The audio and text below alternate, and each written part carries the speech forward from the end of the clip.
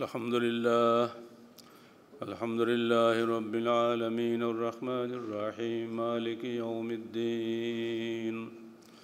يا أيها الذين آمنوا اتقوا الله حق تقاته ولا تموتن إلا وأنتم مسلمون. يا أيها الناس اتقوا ربكم الذي خلقكم من نفس واحدة وخلق منها زوجها وبث منهما رجالا كثيرا ونساء.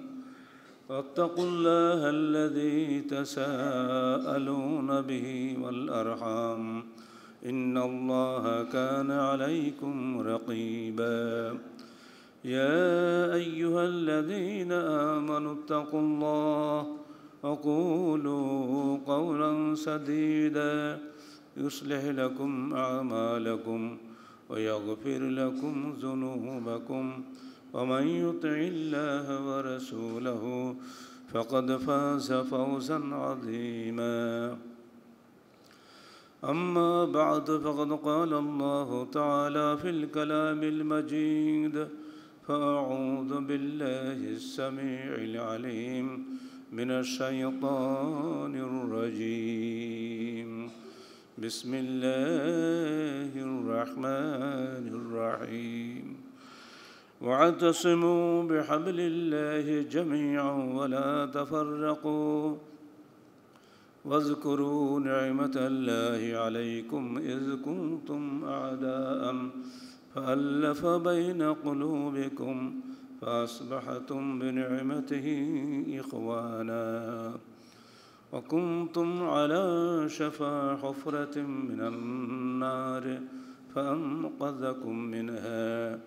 كذلك يبين الله لكم آياته لعلكم تهتدون. سورة آل عمران 103 آيات যাবতীয় হামদ সানা আল্লাহ রবুল্লা আলমিনের জন্য এবং যাবতীয় দরুদ সালাত শেষ নবী মোহাম্মদ রসুল্লাহ সাল্লাহ আলহি ওসাল্লামের জন্যে।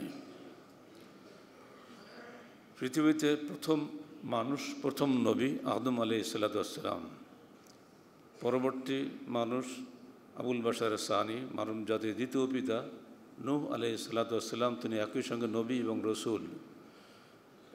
তিনশো পনেরো জন রসুলের মধ্যে সর্বশেষ রসুল আমাদের প্রিয় নবী মোহাম্মদ রসুল্লাহ সাল্লাহ আলহি আসাল্লাম প্রত্যেক নবী মানব জাতিকে শান্তি এবং কল্যাণের পথ দেখিয়েছেন। তাদের নিজস্ব রায় থেকে নয়, সরাসরি আল্লাহ পাকের ওহির গাইডেন্স অনুযায়ী। যেভাবে তারা আল্লাহ নিকট থেকে ওহি পেয়েছেন, হেদায়ত লাভ করেছেন, সেভাবেই তারা জনগণকে উপদেশ দিয়েছেন, সে পথে নিয়ে যাওয়ার চেষ্টা করেছেন। যারা মেনে চলেছে, তারা কল্যাণপ্রাপ্ত হয়েছে, যারা অমান্য করেছে, তারা ধ্বংসপ্রাপ্ত হয়েছে। বিগত ছয়টি জাতি দুনিয়া থেকে একেবারে নিশ্চিন্ন হয়ে গেছে। যারা নবীদের কাহিনী পড়েছেন, তারা সব জানেন, তাদের ইতিহাস মর্মান্তিক। মুসলিম উম্মা এখনও ধ্বংস হয়নি। কিন্তু তাদের জীবনে ধ্বংসের লীলা খেলা যে চলবে এগুলো ভবিষ্যৎবাণী আমাদের শেষ নবী সাল্লা সাল্লাম করে গিয়েছেন। সেখান থেকে কারা বাঁচবে তিনি সেটাও বলে গিয়েছেন। আমাদের করণীয় কি? সেটাও তিনি বলে দিয়েছেন। ইসলাম আসার আগে আরবের যে অবস্থা ছিল এবং ইসলাম আসার পরে আরবের সেই অবস্থা পরিবর্তিত হয়ে কেমন হয়েছিল? যার সংক্ষিপ্ত বাণীচিত্র সুরা আলে ইমরান একশো তিন আয়তে বর্ণিত হয়েছে। আজকে আমাদেরকে এই কথা বলতে হচ্ছে এজন্য যে আমরা এই আয়াতগুলি ভুলে গেছি। শুধু স্মরণ করিয়ে দেওয়াটাই আমাদের দায়িত্ব। পালন করা দায়িত্ব আমাদের সবারই। ইসলাম আসার আগে আরবদের অবস্থা ছিল পুরাপুরি পারস্পরিক হিংসা, বিদ্বেষ, হিং মানবতা বিরোধী যত রকম কাজ থাকতে পারে প্রায় সবই তাদের সমাজে ছিল। দলীয় স্বৈরাচার চূড়ান্ত পর্যায়ে ছিল। দলের লোক, অর্থাৎ গোত্রের লোক পাপ করলেও কার কোনো ধর্তব্যের মধ্যে থাকতো না। অন্য গোত্রের লোক, সগিরা গণ করলে কবিরায় পরিণত হতো। ইহুদিদের অবস্থাও তাই ছিল, নাসরাদের অবস্থাও তাই ছিল, এ বিষয়ে হাদিসে পরিষ্কার রয়েছে। ইসলাম আসার পরে পরিবর্তন হলে এই সেখানে কোনো রকম দলীয় হিংসা বিদ্বেষ থাকল না। পরিষ্কার বলে দেওয়া হলো লাজরিমান্নকুম শানান কহমিন আল্লাহ তাদিলু এদিলু আকরাবুল তাকুয়া কোনো জাতি বিদ্বেষ যেন তোমাদেরকে অবিচারে প্ররোচিত না করে। তোমরা ন্যায় বিচার করো, যা তাকর সর্বাধিক নিকটবর্তী। ইসলামের এই বিধান প্রযোজ্য হলো আল্লাহ রসুলের জমানাতেই ইহুদিরা প্রথম বিচার নিয়ে আসলো, তাদের এক মহিলা জানা করেছে, তার বিচার তিনি করলেন, বলে, তোমাদের ধর্মগ্রন্থ আমাকে দাও। তাওরে নিলেন। যেখানে জেনার শাস্তি লেখা আছে, ওই দুষ্টু আলমরা ওইখানে হাত দিয়ে চেপে রাখল। আল্লাহ রসুল বললেন, হাতটা উঠা উঠাতে চায় না। শেষে হাত উঠে দেখা গেল, সেখানে জেনার যে শাস্তি, ইসলামের ঠিক একই শাস্তি। কারণ দুটোই তো আল্লাহর কেতাব। ইহুদরা এইভাবে প্রথম মদিনাতে ডিস্টার্ব করেছে। তারপরে স্বয়ং মুসলমানদের মধ্যেই বনি মখজুম গোত্রের এক মহিলা এই অপকর্ম করে বসল। এবার বিচার আসলো আল্লাহ রসুলের দরবারে। তিনি পরিষ্কার বলে দিলেন লৌকানা ফাতমত লৌকানাত ফাতমত বিনতে মোহাম্মদ সারাকাত কাতাত এদাহা। যদি মোহাম্মদের কন্যা ফাতেমাও আজকে চুরি করে আমার কাছে আসতো আসামি হয়ে আমি নিজে তার হাত কেটে দিতাম। আল্লাহর বিধানের সঙ্গে কোনো আপোষ নাই। এর ফলে আরবের সমাজের সম্পূর্ণ পরিস্থিতি পরিবর্তন হয়ে গেল। যা কখনো কেউ কল্পনাও করেনি বড়, ছোট কোনো ভেদাভেদ নাই। আইনের চোখে সবই সমান। আর আইন বলতে মানুষের মন গড়া আইন না, আল্লাহর আইন। আল্লাহর আইন কেউ হটানো যায় না, অপরিবর্তনীয়। কেমন পর্যন্ত আইনের কোনো পরিবর্তন হবে না। এই বিধান দিয়ে সমস্ত আরব জগতে নতুন একটা পরিবেশ তৈরি হলো শান্তিময় পরিবেশ। শেষে আল্লাহ রসুল ভবিষ্যৎবাণী করলেন লাইতে মন্না হাজল আমর আমাদের এই ইসলামিক শাসন পরিপূর্ণতা লাভ করবে। এমন একটা দিন আসবে, যখন দেখবে ইরাকের প্রখ্যাত নগরী হীরা থেকে একজন গৃহবধূ একাকী উট নিয়ে চলে যাবে মক্কায়। সেখানে গিয়ে একাই তবাব করে আসবে। আবার ফিরে আসবে সে হীরা নগরীতে। পুরো রাস্তায় সে নিরাপদ থাকবে, কেউ তাকে ডিস্টার্ব করবে না। সেই দিন তোমরা দেখতে পাবে। সেদিন এসেছিল খোলাফার রাশিদিনের তিরিশ বছরে সে শাসন বিশ্বব্যাপী মার্সি দেখেছে। বড় বড় পাশ্চাত্য ঐতিহাসিকরা স্বীকার না করে পারেনি যে মুসলমানদের মধ্যে এমন কি জাদু ছিল। দুদিন আগে যারা ছিল পরস্পর হত্যাকারী, আজকে তারা হয়ে গেল পরস্পরের দেহরক্ষী। দুদিন আগে যারা ছিল নারীর ইজ্জত হরণকারী, এখন তারা হয়ে গেল নারীর ইজ্জত রক্ষা করি। কি করে কি হলো? একই মানুষ। কিছুই না। তৌহিদুর সালত আখরাতের দৃঢ় বিশ্বাস তাদের জীবনকে পরিবর্তন করে দিয়েছে। না এই বিচার তাদেরকে সোজাপথে চলতে বাধ্য করেছে। কিন্তু এই অবস্থা বেশ দিন টেকে নাই। শুরু হয়ে গেল খেলা।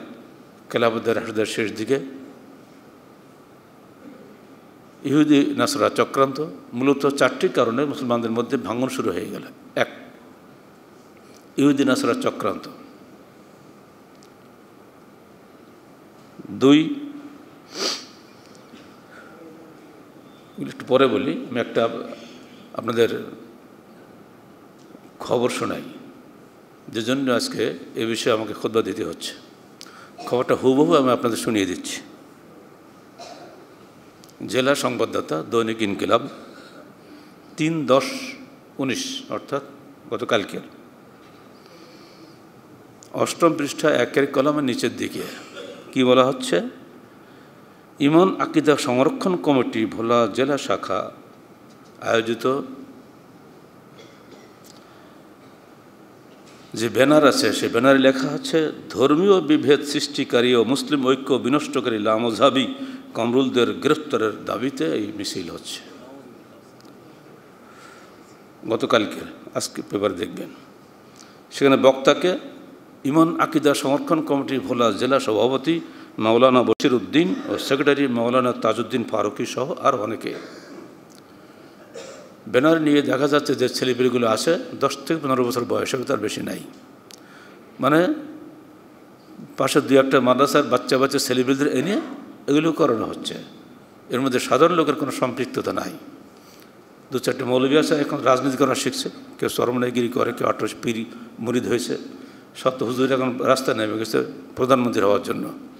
তারা এদেরকে নিয়ে নাচাচ্ছে আমাদের বিরুদ্ধে। অথচ এই ভোলাতে আমি নিজেই গেছি আটানব্বই সালের ফেব্রুয়ারিতে। সে কবের কথা? আমি যে ওখানকার পাঁচ দিন ব্যাপী তফসিল মহফিল ছিল, আমি তাদের বললাম, তোমাদের মহফিল তো রাতের বেলা হয়, সারাদিন কী করব? এলাকার যত আলম আলম আছে, ডাকো, তাদের সঙ্গে বসি। শেষে আলহামদুলিল্লাহ পাঁচটি মাদ্রাসা বন্ধ করে মাদ্রাসার শিক্ষকরা সব আসলেন ষাটজন এই পাঁচ দিন সকাল থেকে সন্ধ্যা পর্যন্ত আমাদের আলোচনা চলতো। মাগরি পরে জলসা হতো, যেটা আমাদের দেশে হয়, সব জায়গায় মাগরি পরেই সাধারণত হয়। শেষের দিন হয়ে গেলে শুক্রবার। জুমা পড়তে গেলাম, চরমনায় পিস সাহেবের জমির সঙ্গে লাগানো জায়গাটা। ওরা বলছে, স্যার, আপনাকে খোদবা দিতে হবে। কেন তো আপনাদের এলাকা? আমরা আসছি মুসাফির, আপনারই হকদার। তো না পাঁচ দিনে যা শিখেছি, আমরা সব ভুলে যেতে পারি না। কীরকম? আপনি যেভাবে সালাত আদায় করছেন, সেইভাবে আমরাও সালাত আদায় করব। বললাম আলহামদুলিল্লাহ। আমার সঙ্গে যারা ছিলেন, আলম আলম বললাম, বাবা, তোমরা দেখিয়ে দাও, কীভাবে সালাদ পড়তে হয়? তো অভ্যাস যাদের নাই, তাদের সমস্যা না? মানে আমি কিন্তু বাংলায় খোদ্া দেবো। আপনাদের আরবি তত্ত্বাবাকের বলি কিন্তু বলব না। তাহলে আপনি যাই করবেন, আমরা তাই করব। তাতেই রাজি। কেন মাতৃভাষা খোদ্া দিতে হবে? কোরআন হাদিস দিয়ে বুঝিয়ে বললাম, ওইখানে দাঁড়িয়েই, ওই জামাতেই পুরা মসজিদ আহলাদিসের তরিকা সালাত আদায় করলেন, তাদের আমিনের বোধহয় ওই দিন প্রথম ওই মসজিদে আমিনের আওয়াজ আসলো। এই দেখা দেখি আশপাশ পাঁচটা মসজিদ সব আহলাদিস হয়ে গেছে। চেয়ারম্যান আবুল হাসম সাহেব বললেন যে আপনি এমনি করে প্রতিটি উপজেলায় একটা করে বৈঠক করে শুধু আলামদেরকে নিয়ে বাংলাদেশে কোনো বেদাতি থাকবে না। তা আলহাম আলহামদুলিল্লাহ আমি কী বলব? আর বললাম, ভাই, এই সুযোগ কি আল্লাহ আমাকে দিবে? কোনো বইপত্র তো রাষ্ট্রীয়তে আমি নিয়ে যাইনি কেউ বললাম আপনার তো ক্লাসে পড়ান, ওসব কেতাবপত্র নিয়ে আসেন। সরবেকা কুদরি, হেদাই, এই তো পুঁজি। আর পারলে আরও বড় কিছু নিয়ে আসেন। সেটা কি? সাতশো আলমের লেখা, ফত আলমগিরি ওটাও নিয়ে আসছিল।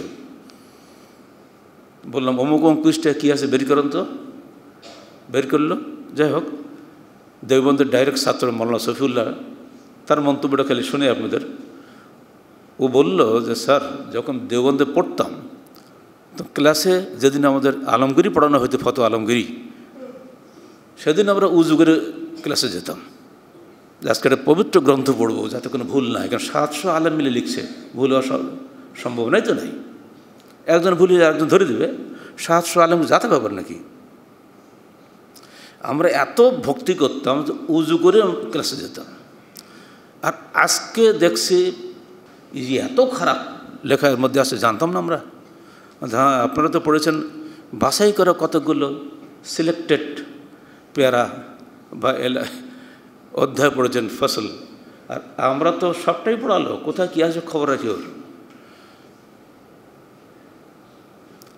সেই স্মৃতি আজও মনে পড়ে। খালি আলমদেরকে বলেছিলাম, দেখুন, কেয়ামতের মাঠে পাঁচটি বিষয়ের জবাব না দিয়ে কেউ বের হতে পারবে না, এক পা নাড়তে পারবে না। লামেজাল কদম ইবনে আদম হাত্তা ইউসাল্লাম খামসাতে আসিয়া তার মধ্যে সর্বশেষ প্রশ্ন হলো, আলেমদের?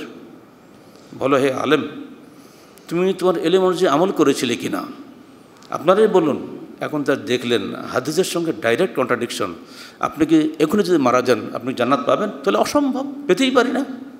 পরিষ্কার বলে দিল মানে অসম্ভব। এখন তো দেখলাম, চাক্ষুষ হাদিসের সঙ্গে ডাইরেক্ট কন্ট্রাডিকশন কোথায় রসুল্লার কোথায় আমার হুজুররা? তবা করলেন আহলাদিস হলেন এখনও প্রায় যারা যোগাযোগ আছে তাদের সঙ্গে আমাদের। তারা তো কখন হিংসা করেনি। যদি এই ষাটজন আলেম হিংসা করতো, তাহলে কি আমি ভোলায় পাঁচ দিন থাকতে পারতাম নাকি? অত জান খেয়ে দিতে ওখানে অথচ সেখানে একটা সাধারণ লোক, সে মুক্তিযোদ্ধা জেলা মুক্তিযোদ্ধা সমিতির সহ সভাপতি, তার বাবু মুক্তিযোদ্ধা, আর এই হলো মুক্তিযোদ্ধার ছেলে। ও আল্লাহ, আপনারা দেখছেন ভিডিও, মসজিদটা আগুন দিয়ে পুড়িয়ে দিয়েছে দাউ দাউ করে আগুন জ্বলা অবস্থায় ফেসবুকে দেখছি আমরা, এখানে বসি। সেটার বিরুদ্ধে মামলা হয়েছিল, পুলিশ অ্যাকশন নিয়েছে, এক বছর পরে এসে। গত কয়েকদিন আগে তাদের উনিশ জনকে পুলিশ গ্রেপ্তার করে নিয়ে গেছে। অর্থাৎ যারা আগুন দিয়ে পুড়িয়েছে, সবাইকে তো নাম দেওয়া যায়নি, উনিশ জনকে নাম দিয়েছিল, সবগুলোকে ধরেছে। এখন তাদের মুক্তির দাবিতে হুজুরা রাস্তায় নেমেছেন। আর আহলাদিসদের এদেশে কোনো অধিকার নাই। তারা এখন হচ্ছে, কি যেন ভাষাটা? মুসলিম ঐক্য বিনষ্টকারী লামজ হবে। ঐক্যের সংজ্ঞা কি? আমরা ওটাই বলার জন্য এই আয়টা আপনাদের সামনে তুলে আনলাম।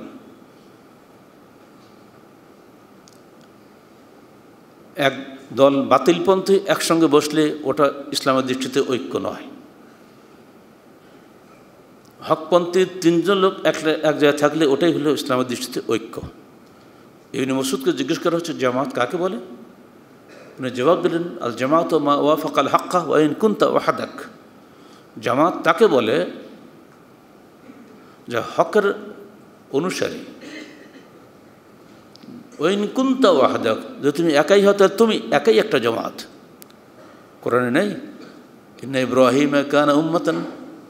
ইব্রাহিম নিজেই ছিলেন একটা উম্মত, অথচ তার তখন দল ছিল না। খালি স্ত্রী সারা আর ফাতেজা লুত ছাড়া দুনিয়া তার কোনো অনুসারী ছিল না। আল্লাহাক নিজেই ইব্রাহিমকে একটা উম্মত বলছেন। আর ইবনি মসুদ হকপন্থী একজনকে একটা জামাত বলছেন। এনাদের ধারণায় লোক যত বেশি হবে ততই বড় জামাত, জি না? ও তো ভোটাভুটির দিক দিয়ে জামাত বটে। আল্লাহর কাছে তিন পয়সা মূল্য নাই।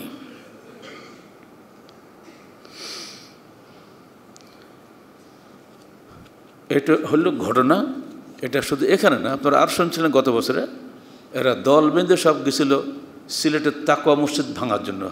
ইতিহাস আপনাদের ভুলে যাওয়া ঠিক হবে না। এবং সেদিন সেই ভাঙন কার্যে অংশগ্রহণ করেছিলেন বিএনপি, আওয়ামী লীগের দুই মেয়র নিজেরাই। আর কি শুনবেন? মানে এর তো ভোটের কাঙাল। যাকে যেদিকে ভোট বেশি, আমরা সেদিকে সাপোর্ট দেবো আহলে তো ভোট কম ওদের সাপোর্ট দিয়ে লাভ ভোট ভিক্ষুকদের কাছ থেকে ন্যায় বিচার আশা করা যায় না। ভারতে যেভাবে মোদী আর অমিত শাহের টার্গেট হলো মুসলিম শূন্য করা, এদেরও টার্গেট হলো আহলাদের শূন্য করা। বেদাতি ঐক্যবদ্ধভাবে হামলা করবে। আর আহলাদিসরা কি চুপ করে শুয়ে শুয়ে নিজেকে লাশ হওয়ার জন্য দেহ পেতে দেবে? একটা বদ্ধ ইঁদুরকে হামলা করলেও সে কিন্তু হালুম করে ঝাঁপিয়ে পড়ে, নিজেকে বাঁচানোর জন্য করে না। একটা কুকুরের উপরে হামলা করলেও সে অন্তত হাউ করে ওঠে। আমাদেরকে একটু হাউ করার ক্ষমতা নাই। কিসের আইন কানুন, সংবিধান? কিচ্ছু দাম নেই এর।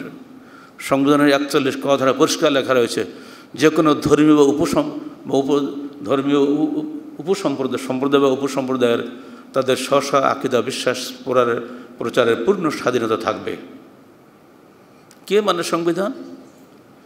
বরং আমরা মনে করি, খাগড়াছড়ি আর রাজশাহীর এই কথিত উপজাতীয়দের যে অধিকার আছে আহলাদেশের সে অধিকার নেই বাংলাদেশে। ওই ছেলেগুলোকে কি এমন কোনো বড় কিছু ঘটেছে? কারা তো রফরদানকে সালাত আদায় করেছে? হয়তো একটা আমি জোরে বলেছি, ওরা আহলাদের কী বোঝে ওরা? এটুকুতেই এত গরম। হ্যাঁ সংক্ষেপে এগিয়ে যাচ্ছি সামনে। ফেরকাবন্দি কীভাবে হয়েছিল শুনে রাখেন। প্রথম ছিল ইহুদি খ্রিস্টানদের প্ররোচনা। দুই নম্বর ছিল রাজনৈতিক স্বার্থদ্বন্দ্ব। তিন নম্বর বিভিন্ন বিজাতীয় প্রথা ও দর্শন চিন্তার অনুপ্রবেশ। আর চার নম্বর শরীয়তের ব্যাখ্যাগত মতভেদ। মূলত এই চারটি কারণে খোলাফা রাশিদিনের শেষ দিকে এসে মুসলমানদের মধ্যে বিভেদ সৃষ্টি হয়। এই বিভেদের পরিণতিতে হজরত ওসমান নিহত হন, শহীদ হন, পরে হজরত আলী শহীদ হন, এরপরে উসুলি বিতর্ক শুরু হয়ে যায়। সেখানে কাদারিয়া, জাবরিয়া, মুরজিয়া, মুদাজিলা যত সব আলতু ফালতু মতবাদের জন্ম হয়। শিয়া সুন্নি, শিয়াদের কাছে হজরত আলী এবং মেঘদাদ আসবাদ এবং কয়েকজন সাহাবি ছাড়া সমস্ত সাহাবি হলো কাফের। ও নওয়াজবুল্লাহ জালেক স্যার খলিফা সবই কাফের, আলী ছাড়া। এটাকে হলো, এরাও নাকি ইসলামী হুকুমত কায়েম করেছে, চিনে। এদের জন্য আমাদের কিছু কিছু লোক আছে আমার আমাদের লাফায় হ্যাঁ ইসলাম এটা কায়েম হয়ে গেছে। মুসলমান নাম দিলে কেউ খুশি হবে? ভারতের প্রেসিডেন্ট দু একশো মুসলমান নাম ধরে হয়। আর আমাদের কিছু লোক আসে, পাগল। ওরে বাপরে, ভারত কত উদার দেশ। মুসলমানকে প্রেসিডেন্ট বানাইছে। জি না, ওরা মরা। কারণ নামটুকু বাবা রেখে গেছিল, নামটি আছে আর সব গেছে। তাই ভারতের প্রেসিডেন্ট হেদায়তুল্লাহ মৃত্যুর সময় বলে গেল, আমাকে তোমরা কবর দিন আমাকে পুড়িয়ে দিও শ্মশান গাছে ও কি মুসলমান হলো? ও মরার সময় পর্যন্ত কবর যাচ্ছে না সারাটা জীবন ওই ওই নামটা ভাঙিয়ে মুসলমানদের ভোট নিয়েছে কিন্তু এই কংগ্রেসের লোকেরা। এই একই অবস্থা আজকে হয়েছে। বহু আহলাদিস ক্ষমতায় আছে। এমন কোনো সংসদ নেই বাংলাদেশে হবে না যেখানে আহলাদিস থাকবে না। এমন কোনো অফিস নেই যেখানে আহলাদিস অফিসার নেই। কিন্তু মরা, যান নাই। এক মুহূর্তে যদি আমি গণনা করি, বাংলাদেশের পার্লামেন্টে কতগুলো এমপি আছে, কতগুলো মন্ত্রী আছে, আমি আপনাদের বলে দিতে পারি। কিন্তু তা বলব না। ওরা আসলে হালাদিসই না খালি রাফাদানি। এমনকি মাদানিও আছে সংসদে আহলাদিসের এরা আল্লাহর নামের শপথ পর্যন্ত নেয় না ভয়। আমি সশ্রদ্ধ চিত্তে শপথ করিতেছি যে, বেটা, কার নামে? যেখানে হাদিস বলছে, আল্লাহর ব্যতীত অন্য নামে শপথ নিলে সে কাফের হয় বা মোশরেক হয়। আর তুমি মুসলমানের বাচ্চা দিব্য বলে যাচ্ছ। আমি সশ্রদ্ধ চিত্তে শপথ করিতেছি যে, কার নাম শপথ করছ? কত মহাদ্দেশ মুফতি ফকিত গেল, দেখলাম সংসদে। আজকে বাংলাদেশ স্বাধীনের পর তো দেখছি, কোনো বেটা তো আল্লাহ নামে শপথ নেয়নি। এজন্য আল্লাহর রহমত কিন্তু উঠে গেছে। যাই হোক, মৌলিক যে চারটি কারণ তখনও ছিল, ওই চারটি কারণ এখনও আছে। এখনও বাংলাদেশ চলছে ওই ইহুদিন আসরা চক্রান্তে। তাদের প্রেরিত বিজাতীয় মতবাদের অধীনে এদের শাসিত হচ্ছে। সেদিন এরাই হজরত ওসমান হজরত আলী হত্যাকারের মূল নায়কের ভূমিকা পালন করেছিল। যারা উটের যুদ্ধ, যারা সিফিন যুদ্ধ সম্পর্কে যারা পড়াশোনা করেছেন, তারা জানেন মূল হোতা কারা ছিল। যদি আপনারা এই বিষয়ে জানতে চান, আর তাহারিকের প্রশ্নোত্তর পড়ে দেখবেন, এরপর আমরা ডিটেলস আলোচনা করে দিয়েছি। সেখানে মূল ভূমিকা ছিল ইহুদিন আসারা আজকেও ঠিক তারাই। এই অবস্থা যখন ঘটলো, তখন মুসলমানদের অবস্থা কি হবে? তা চিন্তা করলেন তাই তো বেদাতিরাও তো হাদিস বলছে হেদায়তিরাও হাদিস বলছে মানুষ বুঝি কেমন করি তখন মোহাম্মদ ইবনে সিরিন প্রখ্যাত তাবি তিনি বলছেন লাম একুনু ইয়াস আলউন আল ইসনাদ ফালামা ওয়াকাত আল ফিতনা قالوا سموا لنا رجالكم فينظر إلى أهل السنة فيؤخذ حديثهم وينظر إلى أهل البدعة فلا ينظر حديثهم ইবন সিরিন এর বলেছেন, এটা মোকদ্দা মুসলিম পনেরো পৃষ্ঠায় পাবেন। তিনি বললেন, আগে মানুষ হাদিস শুনলেই মেনে নিত। কে বলল হাদিসটা জিজ্ঞাসা করতো না। কিন্তু যখন এই সমস্ত ফেতনা শুরু হয়ে গেল, তখন জিজ্ঞাসা করতো যে, তুমি কার কাছ থেকে হাদিসটা শুনেছ? সূত্র বলো, সনদ বলো। তো দেখা যেত যে, বর্ণনাকারী একজন শিয়া বা মোতাজেলা বা কাদারিয়া অন্যরূপ কিছু একটা। ফল্লা ইউ হাদিস হোম তার হাদিস গ্রহণ করা হতো না। আর যদি দেখা যেত না বর্ণনাকারী একজন আহল হাদিস, তাহলে তার হাদিস গ্রহণ করা হতো। এই কিন্তু শুরু হয়ে গেল। ভাঙন। এই বিষয়ে ইমাম ইবনু তাইম রহমতুল্লাহ তিনি বলছেন, দেখো অমিন আহলে সুন্না জামা মাজহাবুন কদিমুন মারুফুন কবলে ইয়াখলুক আল্লাহ আবা হানিফাতা ও মালিকান ও শাফিয়া ও আহমদ।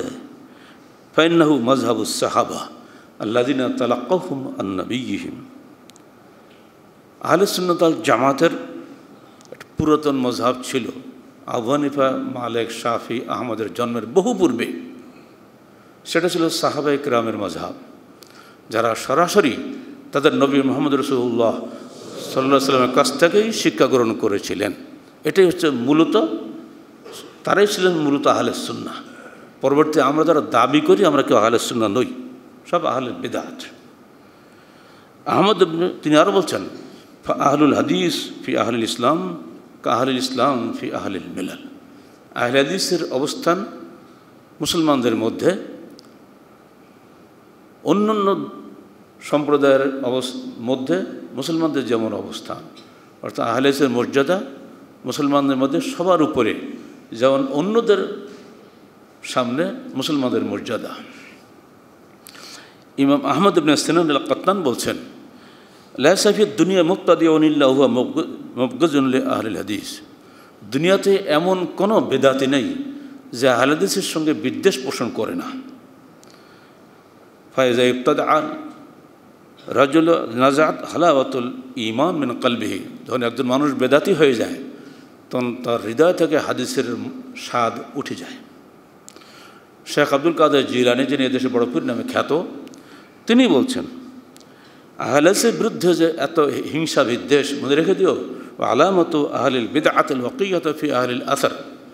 বেদাতিদের সবচেয়ে বড় আলামত হচ্ছে, আহলে আসার বা আহলে হাদিসের বিরুদ্ধে হিংসা করা। অকুল্লুদ্দাল আসাবিয়তন কিয়াজুন আহলে সুন্নাহ। সব কিছুই আহলে হাদিসের বিরুদ্ধে, আহলে সুন্নার বিরুদ্ধে ক্রোধ এবং হৃদয়ের বিদ্বেষের বন্যি জ্বালা মাত্র।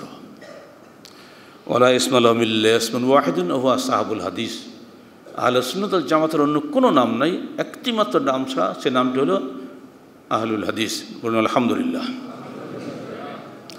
এটা একটা কিন্তু আমাদের রেফারেন্স না, সব কিন্তু ওনাদেরই রেফারেন্স এবার আসেন শাহ অলিউল্লাহ মহাদ্দেসাদ দেহলবি যারাকে হাকিমুল উম্মা বলা হয়।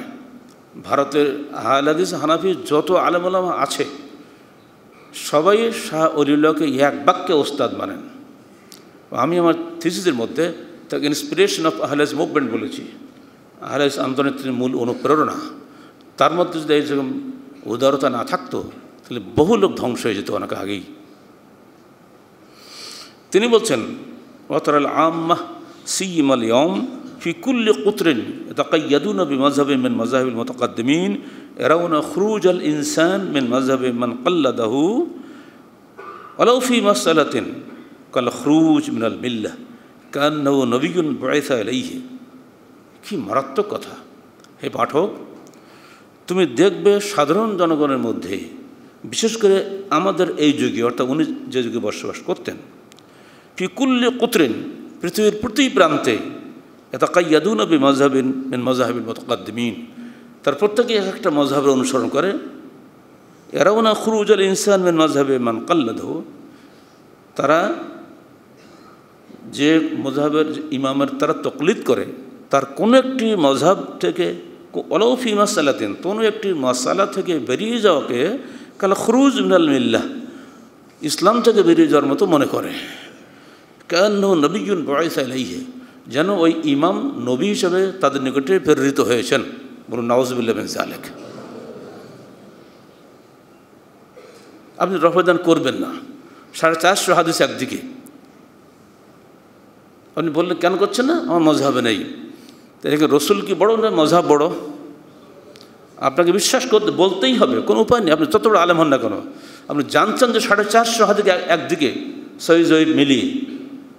পঞ্চাশ জন সাহাবে হাদিস বর্ণনা করেছেন, অথচ আপনি মরে গেলেও রফাদান করবেন না, কিন্তু আপনি বড় আলেম। কেন করছেন না? আপনাকে বলতেই হবে যেটা আমার মজাবি আনুগত্যের কারণে করতে পারছি না। আমি একটা মজাবে আছি তো সেই জন্য জি মজাব আপনাকে আল্লাহর কাছে মুক্তি দেবে না। আপনার ইমাম কে আমাদের মাঠে আপনার জন্য সুপারিশ করবে না। সাবধান। হাদিসের সামনে কোনো মানুষের কথা চলতে পারে না। একটা খালি উদাহরণ দিলাম, প্রতি পদে পদে আপনি পাবেন। আহলাদের যা করবে মজাহিরা ঠিক তার বিপরীত করবে। এটা হিংসা। এটাই শাহুল্লাহ রহমতুল্লাহ এমনভাবে টিটকারি করছেন কান্নাও নবীগুন ভয়েসা এলাইহে যেন তার ইমাম বা পীর, তার কাছে নবী, যার কাছে প্রেরণ করা হয় যে আর কী বলতে ওটা মানুষ? তিনি আরও বলছেন, এই, তোমরা কি ইহুদি দেখতে চাও?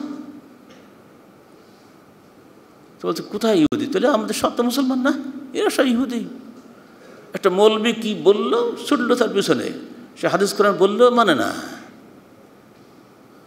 ইহুদিদের স্বভাবটা এটাই ছিল, জিদ এবং হটকারিতা, এরা তো তাই। তার ওসিয়ত নোট পড়ে দেখবেন যেটা আমরা অনুবাদ করছি। তিনি বলছেন, আমি মৃত্যুকালে ওসিয়ত করে যাচ্ছে, খবরদার। এই সমস্ত ফকিরদের থেকে তোমরা দূরে থাকবে। সবসময় কিতাব ওসুন্নাকে সামনে রাখবে। এই লোকটার ওসিয়ত পর্যন্ত হানাফিরা মানে না, আর তারা বলে, উনি হচ্ছেন আমাদের হাকিমুল উম্মা আমাদের নেতা। তিনি আর কি বলছেন? কানা, ও আগের কথা হলো, তফিমত এলাইয়া প্রথম খণ্ডে একশো একান্ন পৃষ্ঠা। যদি কারও বাড়ি থাকে, বাড়ি যে দেখে নিন কহল আয়জান ফাইন বালাগানা হাদিসুন আনের রসুল মাসুম সাল্লাহ আলাইসাল্লাম আল্লাদি ফরজাল্লাহ আলাইনা তাহু বেসানাদিন সালেহিন, ইয়াদুল্লু আলা খিলাফে মাজহাবিহি ওতরকনা হদিসাহু ওতবানা জালেক তখমিন ফমন আজলম ওজরুনা ইয়াকুমুন্নাস লিরব্বিল আলমিন জিজ্ঞেস করছেন আমাদের কাছে হজ্জতুল্লাহ বালকের প্রথম গণে একশো ছাপ্পান্ন পৃষ্ঠা। উনি বলছেন, যদি আমাদের কাছে নিষ্পাপ রসুল থেকে কোনো একটা হাদিস পৌঁছে যায়, যে রসুলের আনুগত্য করা আল্লাহ আমাদেরকে ফরজ করেছেন, যদি সে হাদিসের বিশ্বানুদ্দিন সালেহ সই হাদিস হয়, যেটা এদুল্লাহ খিলাফে মাজহাবিহি আমার মজহাবের বিপরীত। ও তারাক না হাদিস আহু আমরা হাদিস পরিত্যাগ করি। অত্যাবানা জালেখা তখমিন, আর ওই অনুমানের অনুসরণ করি। তখমিন, কেয়াস আর তখমিন কিন্তু ফারাক আছে। কেয়াসের তো যুক্তি আছে।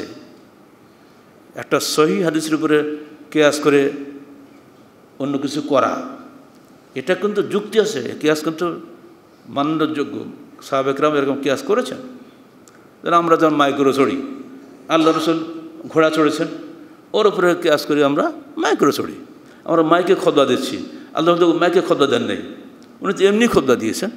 কিন্তু যেদিন আজানের হুকুম নাজিল হলো তেন তিনি, যিনি স্বপ্ন তার সামনে এসে বর্ণনা করলেন, আবদুল্লাহ আবিন জায়দ আবিন আব্দুল রাব্বিহি তাকে আজান দেওয়ার হুকুম না উনি বললেন, এই বিলালকে ডাকো।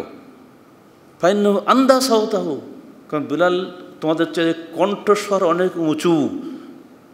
কণ্ঠস্বর উঁচু করার জন্য কিন্তু স্বপ্ন দেখা মূল ব্যক্তি, রিপোর্টার ব্যক্তিকে খোদ বলে, আজান দিতে না বলে তিনি বেলালকে বাছাই করলেন আজান দেওয়ার জন্য। মাইক কণ্ঠস্বর উঁচু করে না? এটা ক্যাশ জায়জ? এগুলো নিষেধ না? কিন্তু শাহুল মদুল রহমতুল্লাহ বলছেন, তখমিন। স্রেফ আন্দাজে এটা কথা বলা। কত সাংঘাতিক টিটকারি তিনি করেছেন। যদি আমরা হাদিস পরিত্যাগ করি অত্তবানা জালকা তখমিন। আর আন্দাজ অনুমানের ইত্তেবা করি, অনুসরণ করি বা মান আজলম মেন না তা আমাদের সাথে বড় জালেম আর কে আছে? ওমা উজরুনাকুমুন্না সলি রবিল আলমিন। যেদিন দুনিয়ার মানুষ তার রবের সামনে দাঁড়াবে, সেদিন মানুষের কোন ওজোর থাকবে? যদি আল্লাহ জিজ্ঞেস করেন সহিদিস থাকতে তুমি কেন আমল করনি? বলো, জবাব দাও। বলো, তুমি কী সব জবাব দেবে? এই প্রশ্ন কিন্তু আমার নয়। শাহ অলিউল্লাহ মাদ্দাদ দহলিব রহমতুল্লাহ আলহির যিনি আমাদের সবার গুরু, উপমহাদেশে। তার এই লেখনীগুলো কে তার মধ্যে লুকানো আছে, কেউ বলো না কেউ সে। অথচ সব তার ভক্ত। বড় বড় মাদ্রাসা আছে, বাংলাদেশে। নামে বলে আমার হজ্জতুল্লাহ বালেগার অনুসারী। এসছিল আমার এখানে একজন আলম বলছেন আপনি হজ্জতুল্লাহ পড়েন না? তাহলে হ্যাঁ পড়ি খুবই একেবারে প্রশংসা করলে, খুব। এটা পড়েননি কেন? চুপ। হজ্জতুল্লাহ তো হানাবি আলমদের ঘরে ঘরে থাকার কথা। অথচ এগুলো তারা পড়বে না। মানে ওগুলো পড়তে মানতে হবে, মানলে তো সমস্যা। কোরআন হাদিস এসেছে, মানার জন্য, পড়ার জন্য শুধু নয়। আল্লাহর বিধান মানার জন্যই নাজিল হয়েছে। শুধু তোতা পাখের বলির মতো খালি পড়ে গেলে শুধু হবে না। এবার আসুন, এই যে আমরা মসজিদে এসছি সালাদ আদায় করছি, এখানে হরেক রকম মুসল্লি আছে। কেউ বুড়ি হাত বান্ধে কেউ নিচে হাত বান্ধে কেউ আমি জোরে বলে, কেউ আসতে বলে, নানা রকম আছে না। আর হজের মধ্যে গেলে তো আপনি আরও চিড়িয়াখানা পাবেন। কে কত কায়দা আছে সালাদ আদায় করে, সে দেখলে হাসি লাগে। হ্যাঁ শোনেন। কেরাতে ফাতে খালফাল ইমাম। ইমামের পিছনে সুরে ফাতে অধিকাংশ আপনারা পড়েন না। যারা হালেজ তারাই পড়ে, অন্য ভাইরা পড়েন না। যত আলম বকার জাহিল হোক সবসময় হ্যাঁ যদি কেউ কেউ একটু ভয়টা করে যাতে সুবিজি পড়তে কেউ টের পায় না, অনেকে আমার পড়ে। কিন্তু জাহিরের রফরদানটা টের পায় যে সেই ভয় ওটা করে না। যেটা জাহির হবে, সেটা করে না। ভীত কাপুরুষ এটা আলম নাকি? যে জানা যেটা আল্লাহ নবী করে গেছেন তিনি করে না। আমি একজন প্রখ্যাত আলমকে বলেছিলাম, মিনাতে হজের মৌসুম দু হাজার সালে, কি মৌলানা বিশাল তফসিল মহফিল করেন, হাজার হাজার মানুষ আমাদের ওয়াজ শুনে একদিন তো একটু শহীদ তরিকা সালাত আদা করলে তো স্টেজে দাঁড়িয়ে সব ঠিক হয়ে যায়। না রে ভাই, আমি রফলে দান করি না, কিন্তু সুরে ফাতেহাটা পড়ি।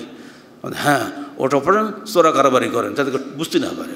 তো করে একদম সালাত আদাকে দেখান না মগরের সময় স্টেজে দাঁড়িয়ে, আরে বাপরে বাপ হ্যাঁ তাহলে আপনার আত্মকে দাওয়াত দেবে না?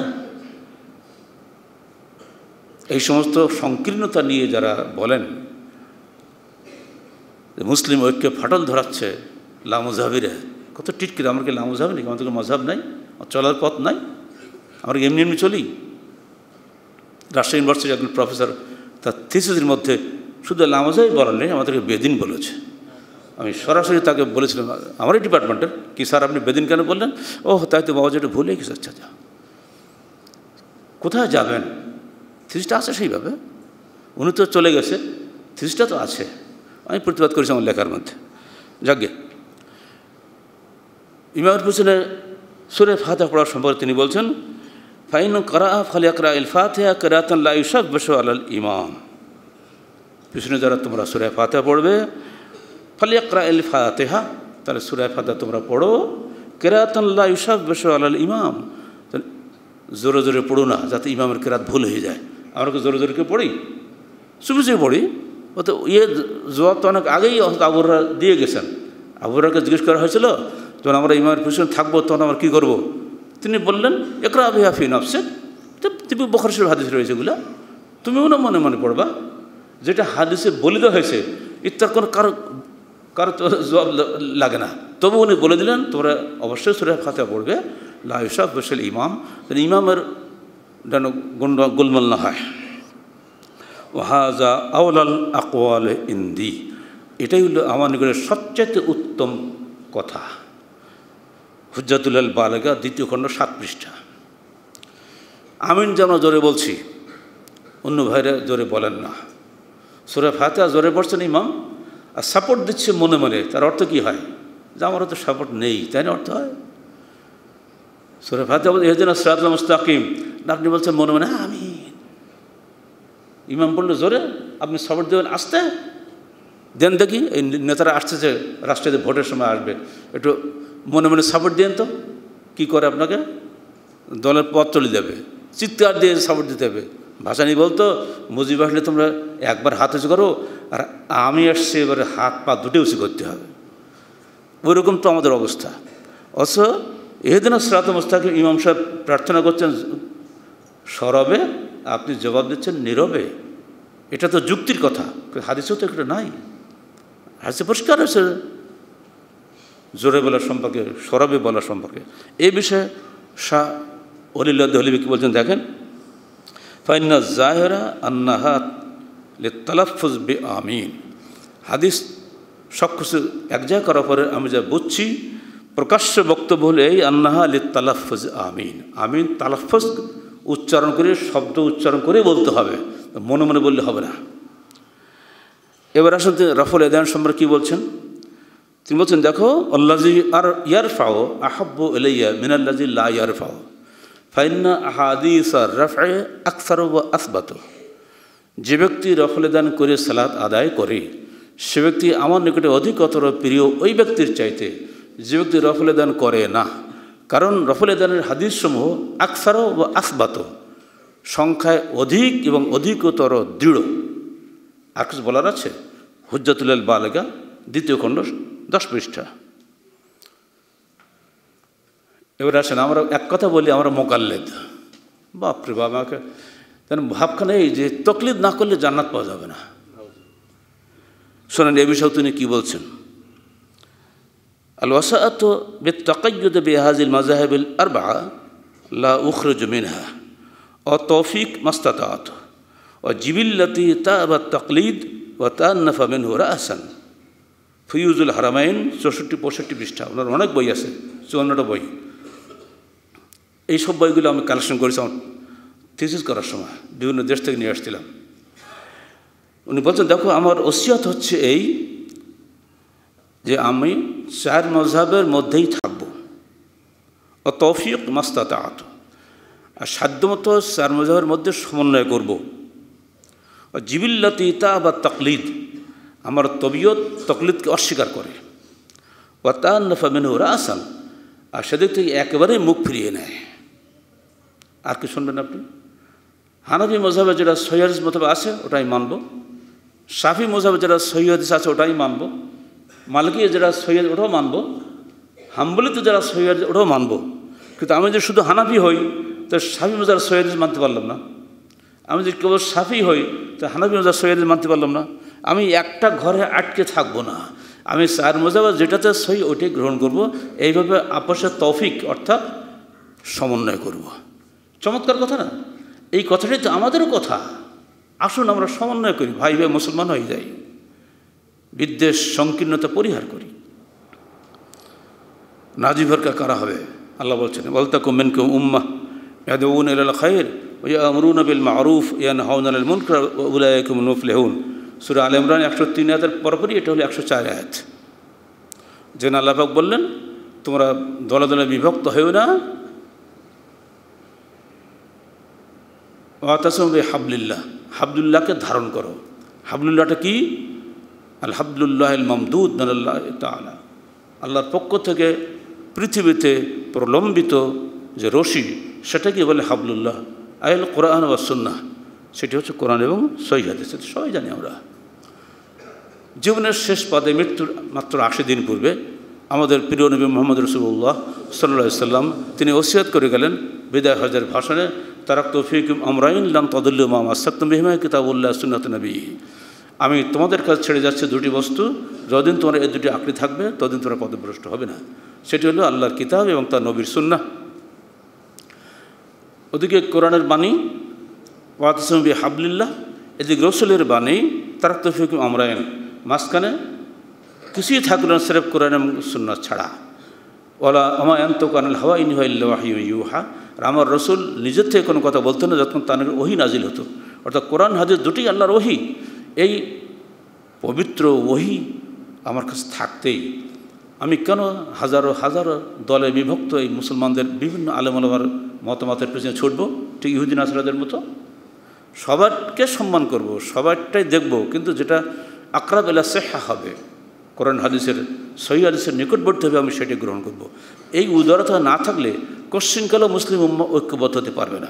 এই কথাটাই আহ্লাদ হাদিসরা খালি বলে যে, ভাই, আসেন ভাই ভাই এক হয়ে যায়। এই সমস্ত মজাবগুলো তো পরবর্তীকালে সৃষ্টি।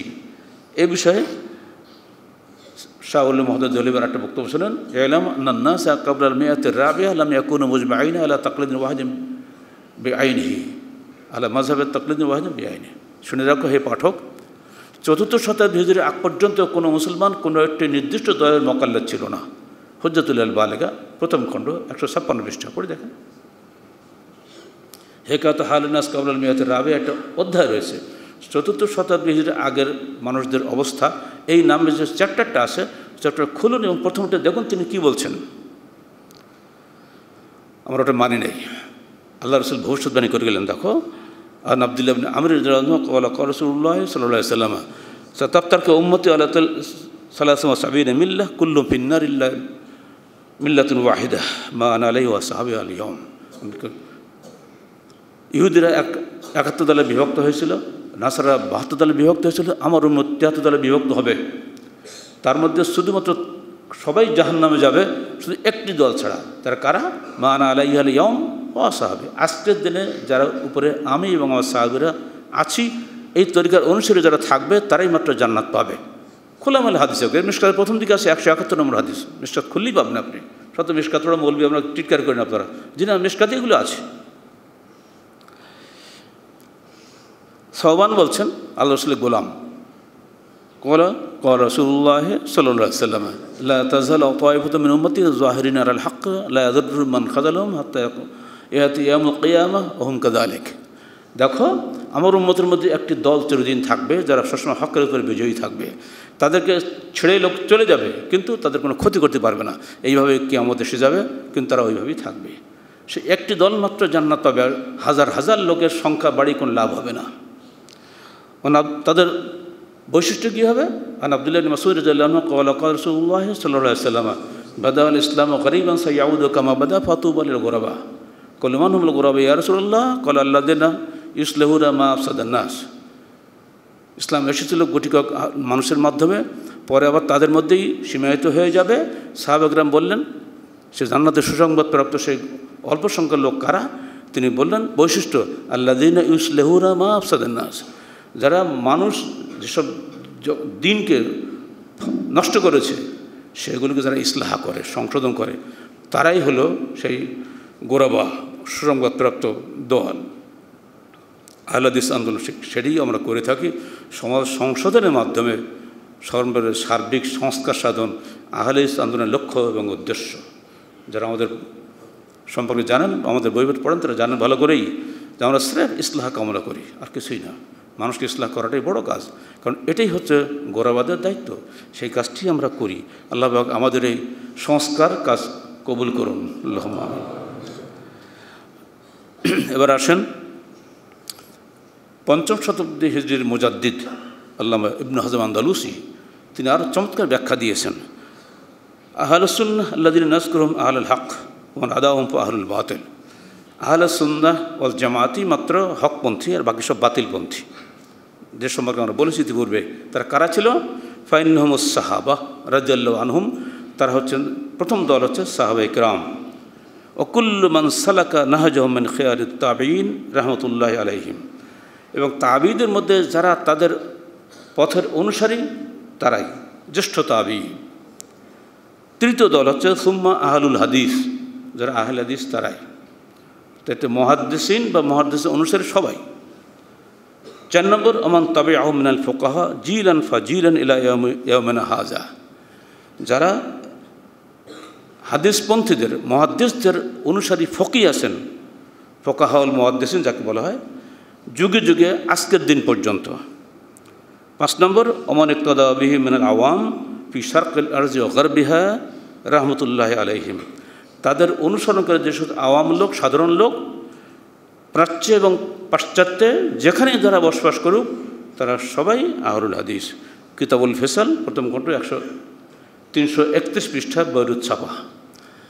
এই সমস্ত মনীষীদের এইসব বক্তব্য একপাশে রেখে আমি যদি এখন আহলাদিদের ফাঁসি দাবি করি, এরপরও আপনি বলছেন না ওরা মুসলমান, আমরাও মুসলমান। ভোটের সময় সবাই সমান। ভোট হয়ে যাওয়ার পরে আহলে ধরো, জেলে ঢোকাও। এই যদি চরিত্র হয় তাহলে এই সমস্ত ইসলামপন্থী দলদের কোন পাগলে ভোট দিবে? আমরা চাই মুসলমান ভাই ভাই বসবাস করুক। কোন ইবাদ আল্লাহ ইখওয়ানা। ওলা তাহাসু ওলা তাবাগাজু ওলা তাহাসাদু ওলা তাকা তাও কোন ইবাদ আল্লাহ ইখওয়ানা। তোমরা পরস্পরে বিচ্ছিন্ন হয়েও না, পরস্পরে বিদ্বেষ করো না। আল্লাহ রসুলিন হাদিস এটা। তোমরা কারোর বিরুদ্ধে গুপ্তচার বৃত্তি করো না। তোমরা সবাই আল্লাহর বান্দা হিসেবে ভাই ভাই হয়ে যাও। আর এই ভাই ভাই হওয়ার একমাত্র মুসলিম ঐক্যের প্ল্যাটফর্ম হচ্ছে হাবলুল্লাহ। আর হাবলুল্লাহ হলো কোরআন এবং সুন্নাহ। কোরআন সুন্নার বাদ দিয়ে অন্য কোনো কিছুতেই মুসলিম ঐক্য আদৌ সম্ভব নয়। আর সেই কাজটি আহলাদিস আন্দোলন করে যাচ্ছে এবং করে যাবে চিরদিন। কারোর রক্তচক্ষুকে আহলেসটা কোশ্চিনকালে বরদাস্ত করে না। শুধুমাত্র আল্লাহ পাকের উপরে ভরসা করেই আমরা দায়িত্ব পালন করে যাচ্ছি। আল্লাহ পাক আমাদের সকল ভাইকে নিরাসক্ত মনে কোরআন এবং সহিদ অনুসারী হওয়া তৌফিক দান করুন। আকুল কৌলি হাজা আস্তকুল্লা আলী আলকুম সাহিল মুসলিমিন।